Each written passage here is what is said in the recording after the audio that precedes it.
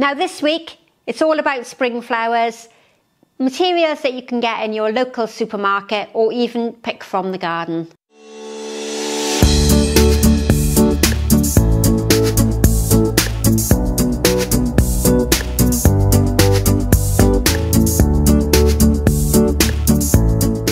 Hello everybody and welcome back. It's lovely to see you all once again. Now today's tutorial is using spring flowers. I'm really keen to use some spring flowers when they're available to us in the supermarkets and the florist shop because the spring flowers are still fairly seasonal even though we can get certain varieties throughout the whole year. It's really nice to be able to arrange with flowers that may be coming up in your garden or are easily available in the supermarkets. And rather than using floral foam, I'm going to go back and use some of the wire netting. Now we've looked at this once before and I'll link it here in the cards so you can go back and revisit that video. This wire netting, um, sometimes referred to as chicken wire, but it has an approximate inch gap here in between the wire structure. And that's ideal for inserting the spring flowers. Spring flowers are naturally very soft stemmed they're not great levels of floral foam. They break easily. Um, as it implies, the stem is very soft. So using wire of this sort of construction is really good. It's far more environmentally friendly. You can reuse it time and time again. The basket is oval shaped and normally there would be water in it, but again, it's not much good for me every time I tip it forward. And I've made sure that the chicken wire is filling my container so I can use all areas of that small basket. I checked beforehand that the basket was waterproof. It is lined with plastic, so I know when I fill that with water, it isn't going to leak out all over my table. If you haven't got a basket, just use any vessel, receptacle that you might have in the house. Could be a bowl, could be a vase, could be a fruit bowl or a salad bowl or even a punch bowl whatever you've got is ideal for this type of arranging. It needs to be deep enough so that it will hold your water and what is important with this type of design is that when you insert the stems in, you're putting them right to the bottom of your container so that they have full access to the water within your design and remember to keep topping it up.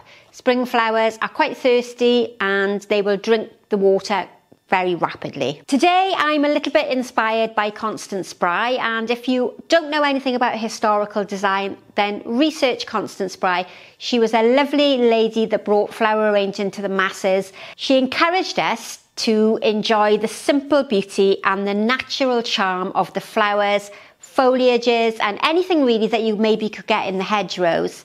She encouraged us to really love it and embrace anything that we could get hold of, bring it inside and arrange it beautifully inside the home. And if you're interested in floral design, I'm going to link it in the box below because we've had lots of questions about it. There's some fantastic books by NAFAS, and NAFAS is the National Association of Flower Arranging Societies. They're based in London.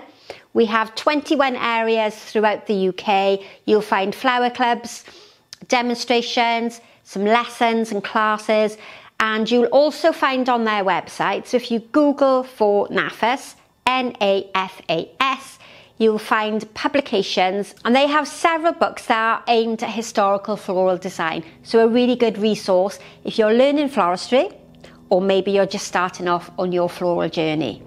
So enough talking, let's get creative with today's design.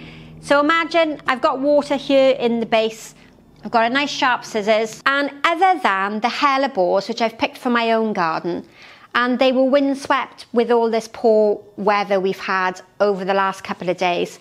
So I decided to pick them and use them in an arrangement.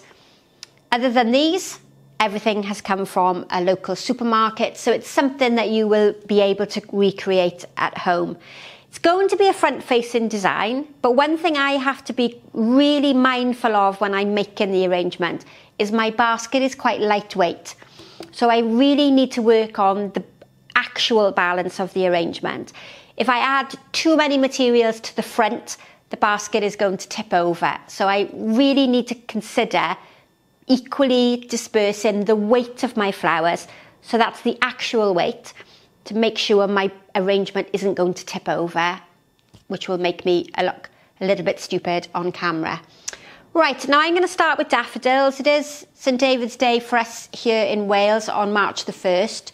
So I'm going to embrace my national flower and I'm going to start by placing these quite low down towards the front. Now, I find this is the easier way to arrange flowers when they're in the chicken wire. I find it easier to work from the centre and work my way out. No right or wrong way. You do whatever feels natural to you. But what you do need to look at is the shape that the flowers are naturally facing. So you'll see here with this hellebore, if I want something to drape over the front of my container, this front section here is going to work really well. So I'm going to remove that side shoot and bring this in from the side so that I have some draping movement there over the front of my container. So this time I'm not too concerned about creating an overall shape. I'm just placing the flowers in so that we can really appreciate the individual flower types and the flower heads and all the characteristics and the individual personality with those flowers. Now if we look at this hellebore, we could either use it sideways, remembering that it's not like floral foam where I can come in in a horizontal position. It has to be angled downwards so it gets a good supply of water. So if I'm going to use this one, it needs to be arranged in that sort of position there. The, clear, the flower head is nice and clear and my stem is inserted into the, into the chicken wire. So, for example, if I bring it across this way, there is no water source getting to that stem. If we think about it, the individual shape of the stems is almost predicting the overall size of your arrangement. And I've got some catkins. Um, I'm going to use those towards the end to really extend the design outwards. But initially, I'm going to start down quite low I've got a couple of different varieties of the daffodil, so we'll bring the colour of that towards the outside as well. But for the moment, I'm going to stick here at the front. Wonderful irises, which are gorgeous against the yellow of my daffodils. Bigger head, so that one uh, for a moment is going to come towards the front. Now what you might notice is there's very little foliage in this arrangement. And that's mainly because Constance Spry would have encouraged you to arrange flowers seasonally. So I'm, I'm avoiding any materials that wouldn't be available to me naturally in the spring. If you've got a garden full of maybe heathers or the foliage of the hellebore, then you can use it in the design. But I'm a little bit limited and today I'm focusing on these beautiful seasonal spring flower types. Right, so lovely blue iris there in the front. Now another material that's from the garden, I haven't used this before in any floral designs. This is one of the euphorbia family, so it's related to the poinsettia. This is the common spurge and um, there's lots and lots of different varieties of euphorbia. And this is a material that is classed as um, an irritant. If you've got sensitivity to flowers, then be very careful using any types of the euphorbia. They exude that sticky white sap, um, which can cause a lot of itching and a lot of irritation. So be very careful. Don't get it near your eyes. And if you're sensitive or have any allergies, then I would consider wearing gloves. But it's a wonderful lime green colour. And I'm going to use it. I'm going to get it into the design in this sort of position here. So I'm making use of that twisted stem on the top. I don't want to squash it down low where you lose all that personality and the characteristic of that lovely flower. Now remember that I've got to start bringing some weight towards the back and I have a few of these spurge and for me I like them used in this shape rather than angled down for a moment anyway that might change as we work our way through. But I'm going to encourage this side of the design to go a little upwards and it's going to naturally lend itself really well to the shape of the flowers that I've got. I'm going to bring the green colour in onto the opposite side and I'm going to work my way under the handle of the basket. I'm hoping that the basket handles will be almost covered when I finish the design. But what I'm aiming to do is to be able to see all the individual flower heads. I don't want to squash them in and create a design um, with an outline shape, you know, those very geometric shapes that we've looked at before. Right, let's start building up from the centre. Now I also have some tulips, which we'll look at in just a second, but I'm going to bring some of the yellow daffodil up towards the top. A couple of beds here as well. And what I'm trying to do is to create depth. So that 3D effect that I talk about all the time, I want to have a front and a back to my arrangement as well as the sides. And that is, is created by moving your flowers all throughout the wire netting. So I'm placing the flowers in at the back. I'm not angling everything forward to you because that will create a really artificial look. Now then, a few of the daffodils down lower at the back. That's going to help me create that weight that I need. And we'll keep a few down shorter for the moment.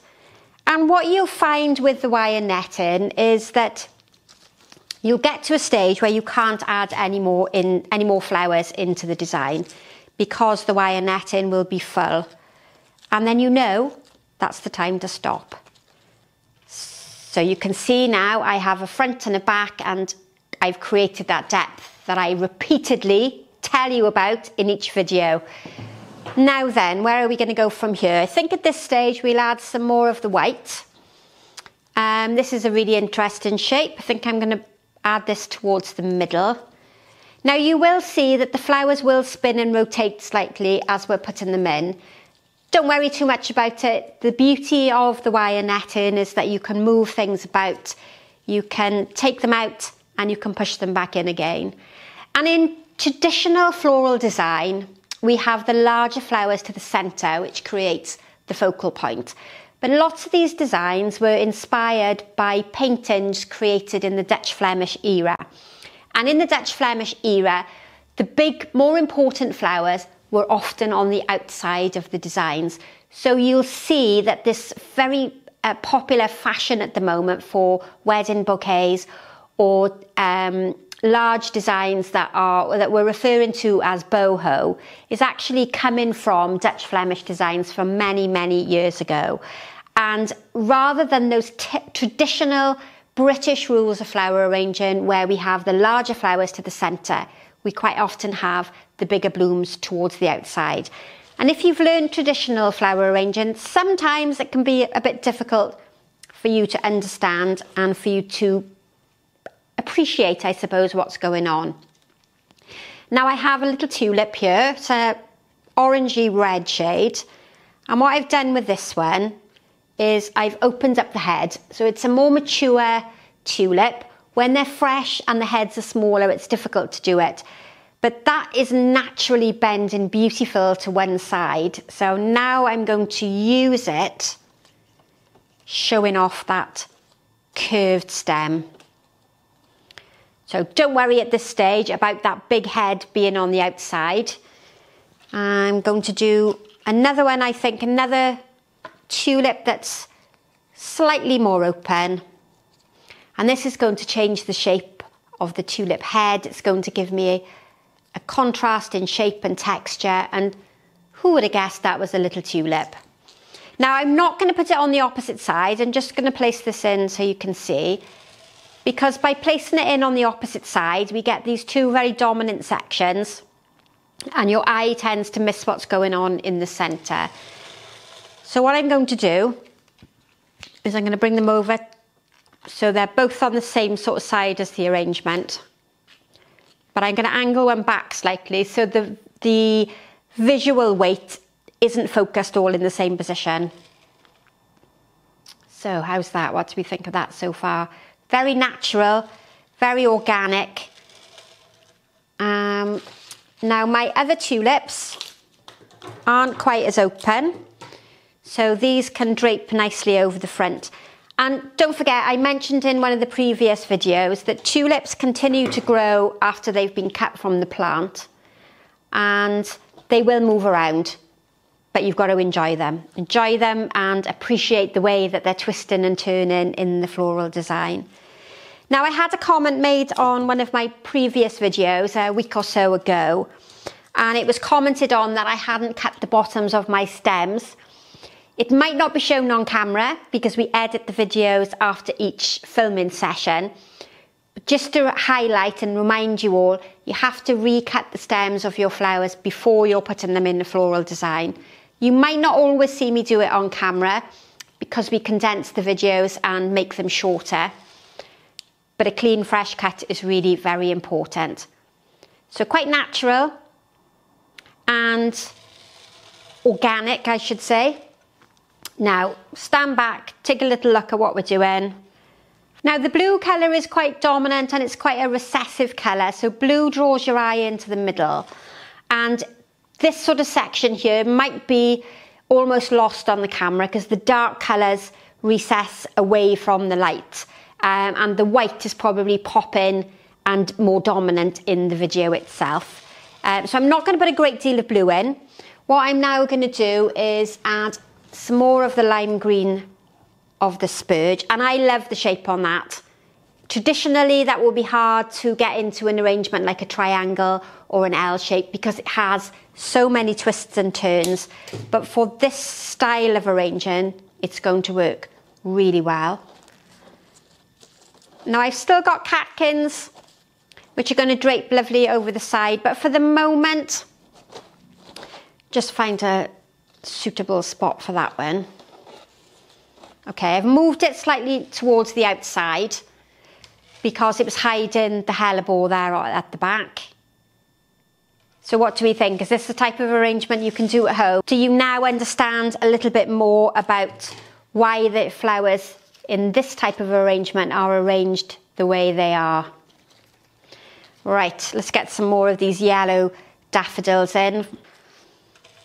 I'm just working my way creating lots of colour splashes. With the daffodils, because they are quite soft stemmed, you need to take your time inserting them into the wire mesh because we don't want to damage them as we're inserting them into the foam, into the mesh.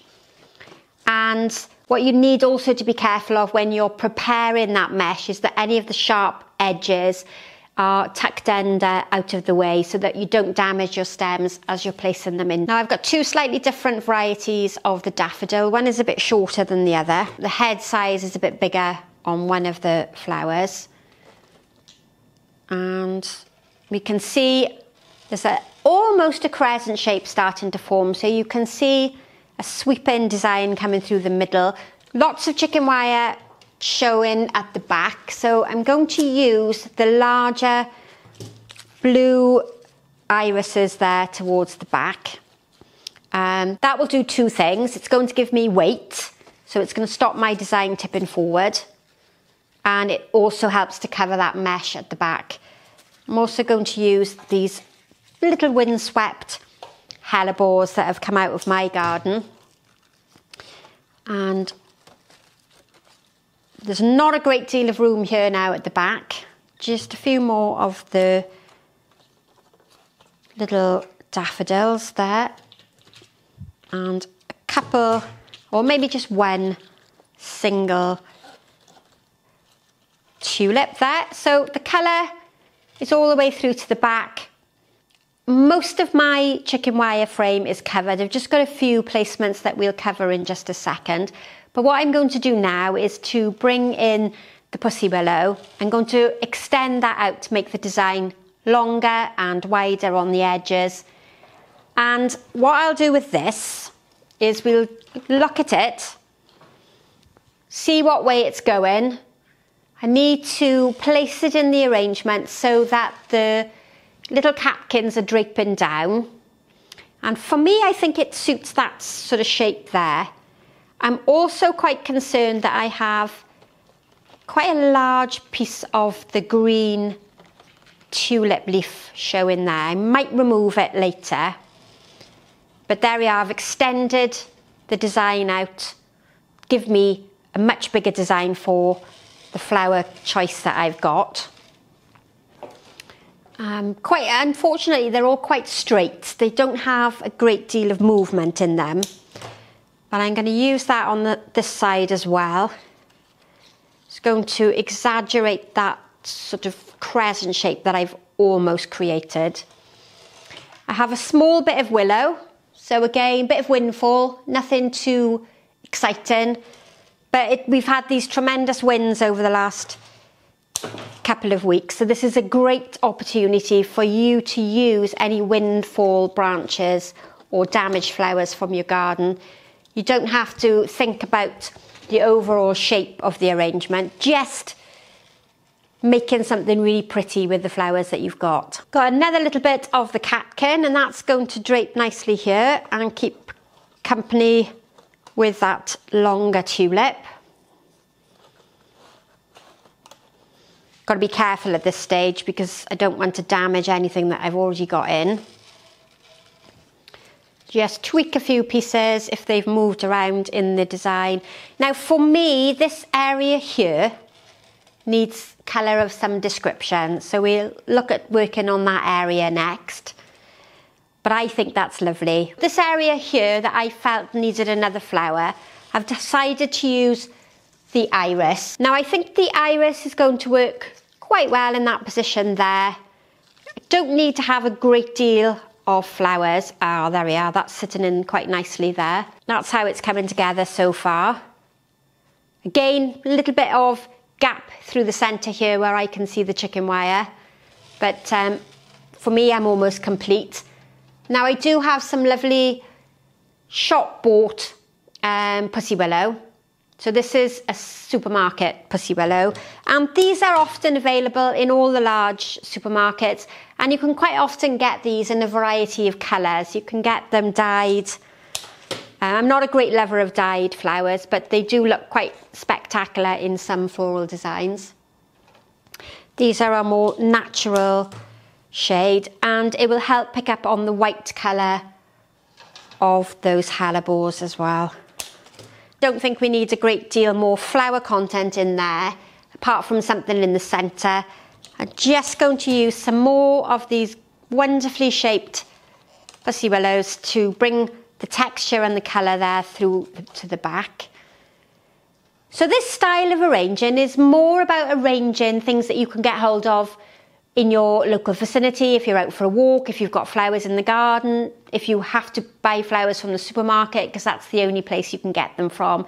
This is about really enjoying the different textures and the colours and the perfumes that come from the individual flowers, rather than creating those very geometric shapes that came about with the invention of floral foam. Right, so a couple of yellow daffodils just down towards the centre. And I am cutting these short because I feel that we need some extra colour here at the base. And if you wanted to put them in longer, that's perfectly acceptable. And I think I'm pretty much done. So what do we think of this one? Hope that gives you a bit more of an explanation into this very natural style of arranging that's very popular at the moment.